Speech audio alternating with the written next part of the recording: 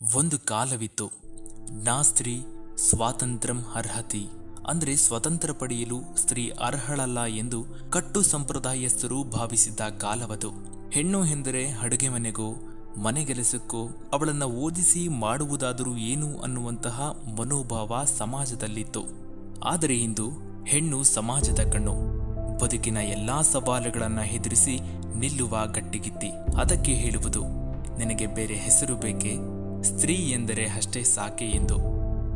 ಎಲ್ಲಾ ಕಷ್ಟದ ದಿನಗಳನ್ನು ಎದುರಿಸಿ ಇಂದು ಎಲ್ಲಾ ಕ್ಷೇತ್ರಗಳಲ್ಲೂ ತನ್ನ ಚಾಪು ಮೂಡಿಸಿದ ಆಕೆಯ ಸ್ಥೈರ್ಯದ ವಿವರಣೆಗೆ ಬೇರೆ ಬೇರೆ ಪದಗಳು ಬೇಕಿಲ್ಲ. ಮಗಳಾಗಿ, ಪತ್ನಿಯಾಗಿ, ತಾಯಿಯಾಗಿ, ಸ್ನೇಹಿತೆಯಾಗಿ ಎಲ್ಲಾ ಪಾತ್ರಗಳನ್ನು ತುಂಬುವ ಆಕೆಗೂ ಅಂತಾರಾಷ್ಟ್ರೀಯ ಮಟ್ಟದಲ್ಲಿ ಒಂದು ದಿನ ಮೀಸಲಿದೆ. ಅದುವೇ ಅಂತಾರಾಷ್ಟ್ರೀಯ ಮಹಿಳಾ ದಿನಾಚರಣೆ.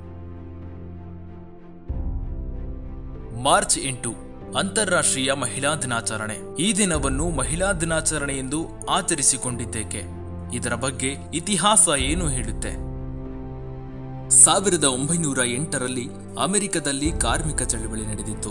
ದುಡಿಯುವ ಮಹಿಳೆಯರು ಅವರ ಹಕ್ಕಿನ ಪರವಾಗಿ ಧ್ವನಿ ಎತ್ತಿದ್ದರು ಸುಮಾರು ಹದಿನೈದು ಸಾವಿರ ಮಹಿಳೆಯರು ನ್ಯೂಯಾರ್ಕ್ ಬೀದಿಗಳಲ್ಲಿ ಮೆರವಣಿಗೆ ನಡೆಸಿದ್ದರು. ತಮ್ಮ ಕೆಲಸದ ಅವಧಿಯನ್ನು ಕಡಿಮೆ ಮಾಡಿ ವೇತನದ ಶ್ರೇಣಿಯನ್ನು ಹೆಚ್ಚಿಸಬೇಕು. ಮಹಿಳೆಯರಿಗೂ ಮತದಾನದ ಹಕ್ಕನ್ನ ನೀಡಬೇಕೆಂದು ಬೇಡಿಕೆ ಇಟ್ಟಿದ್ದರು. ಮಹಿಳೆಯರ ಧ್ವನಿ ಅಂದಿನ ಸರ್ಕಾರದ ಕಿವಿಗೆ ಬಿದ್ದಿತ್ತು. ನಂತರ ಚಳವಳಿಯ ಒಂದು ವರ್ಷದ ನಂತರ ಅಮೆರಿಕದ ಸಮಾಜವಾದಿ ಪಕ್ಷ ಸಾವಿರದ ಒಂಬೈನೂರ ಒಂಬತ್ತರಲ್ಲಿ ಫೆಬ್ರವರಿ ಇಪ್ಪತ್ತೆಂಟರಂದು ಮಹಿಳಾ ದಿನಾಚರಣೆಯನ್ನಾಗಿ ಘೋಷಿಸಿತು.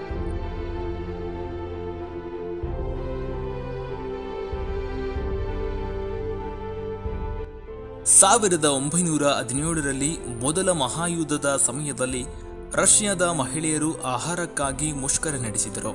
ಅದಾಗಿ ಕೆಲವು ದಿನಗಳ ನಂತರ ಚಕ್ರವರ್ತಿ ನಿಕೋಲಸ್ ರಾಜೀನಾಮೆ ನೀಡಿದರು.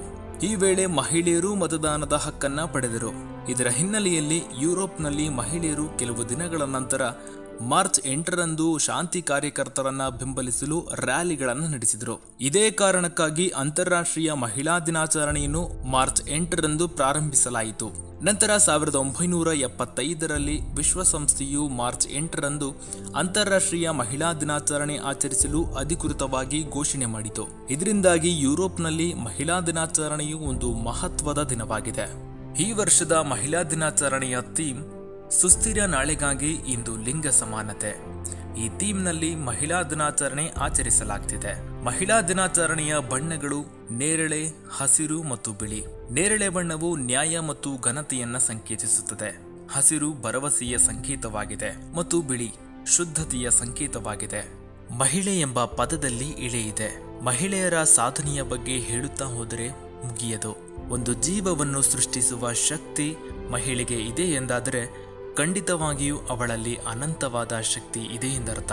ಮಾತೃಶಕ್ತಿ, ವಾತ್ಸಲ್ಯ, ಸಹನೆ, ಪ್ರೀತಿ, ತಾಳ್ಮೆ, ಆರೈಕೆ, ಸತ್ಕಾರ, ಸನ್ಮಾನ, ಸಾಂತ್ವನದ ಗುಣಗಳು ಆಕೆಗೆ ಹುಟ್ಟಿನಿಂದಲೇ ಬೆಳೆದು ಬಂದಿರುತ್ತದೆ ಬದುಕಿನ ಪ್ರತಿ ಹೆಜ್ಜೆಯಲ್ಲಿಯೂ ಹೆಣ್ಣು ತಾಯಿಯಾಗಿ, ತಂಗಿಯಾಗಿ, ಅಕ್ಕಳಾಗಿ, ಹೆಂಡತಿಯಾಗಿ, ಮಗಳಾಗಿ, ಗಂಡನಿಗೆ ಬೆನ್ನೆಲುಬಾಗಿ ನಿಲ್ಲುವ ಎಲ್ಲಾ ಮಹಿಳೆಯರಿಗೂ ಅಂತಾರಾಷ್ಟ್ರೀಯ ಮಹಿಳಾ ದಿನಾಚರಣೆಯ ಶುಭಾಶಯಗಳು. ನಮ್ಮ ಈ ವಿಡಿಯೋ ನಿಮಗೆ ಇಷ್ಟ ಆಗಿದ್ರೆ ಲೈಕ್ ಮಾಡಿ, ಶೇರ್ ಮಾಡಿ, ಸಬ್ಸ್ಕ್ರೈಬ್ ಮಾಡಿ ಹಾಗೂ ಬೆಲ್ ಬಟನ್ ಕ್ಲಿಕ್ ಮಾಡೋದನ್ನ ಮರಿಬೇಡಿ.